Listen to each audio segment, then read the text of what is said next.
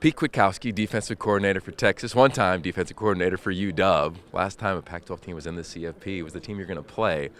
Has has it been unique for you to kind of look back at this thing for a moment and zoom out and say, "Wow, kind of a unique run for a place I was at and for the place where my feet are"? Yeah, it's doing. You know, you do a little uh, self-reflection. Um, you know, a lot of those guys um, on Washington's team I recruited and had obviously relationships with coaching and being being a part of that program and and now being at Texas and having um, having us match up again. Um, it's exciting and you know I'm just I'm just sort of not sort of but I am I'm proud that I was able to affect both programs to uh, get to this point. Speaking of both programs, what does your program need to do to slow down this high-powered offense led by Michael Penix Jr.? Um, we need to, he, whether we sack him or not, I mean, he needs to feel a rush, right? And they have a good O line um, that does a good job.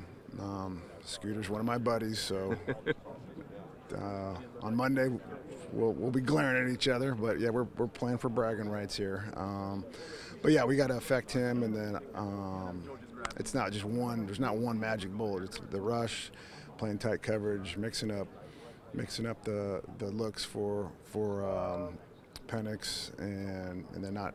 We have to do a good job in the run game. Um, you know, every, if, if they if they can be they can run the ball and then pass the ball. Um, that makes it difficult. So we gotta we gotta make sure we do a good job in the run game, and and then you know just change it up, mix it up, um, try and uh, create some indecision and have him feel us.